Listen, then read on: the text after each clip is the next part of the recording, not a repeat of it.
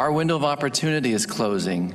Without better planning, 2020 could be the darkest winter in modern history.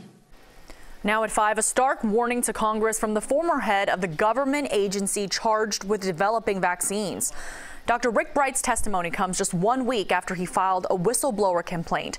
Meanwhile, President Trump went to Pennsylvania to announce a plan to ramp up domestic production of personal protective equipment. CBS 4 Skyler Henry is at the White House with more.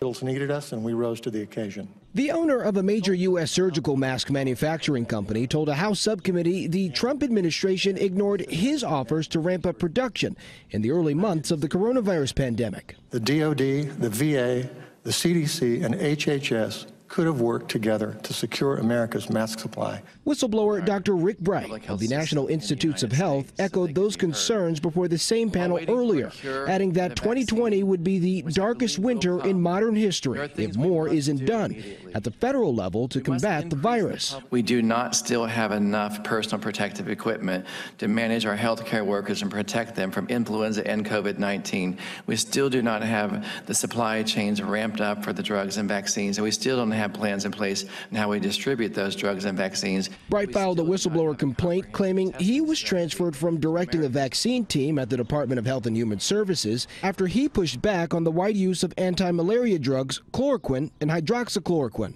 When I learned that there is a directive to make it more broadly available, not under close supervision of a physician, I was. When was that? When HHS says Dr. Bright's complaint is full of one-sided arguments and misinformation. President Trump continues to call Bright a quote disgruntled employee. I never met him. I don't want to meet him, but I watched him, and he looks like an angry, disgruntled employee who, frankly, according to some people, didn't do a very good job.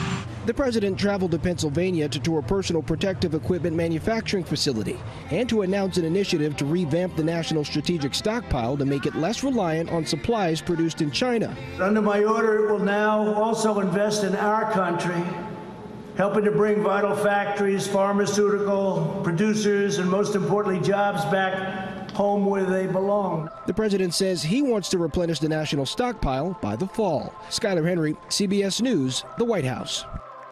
The president also says he'll be making an announcement next week on the World Health Organization. The U.S. had fr uh, frozen funding to the international agency last month, while its initial response to the COVID 19 outbreak is still being investigated.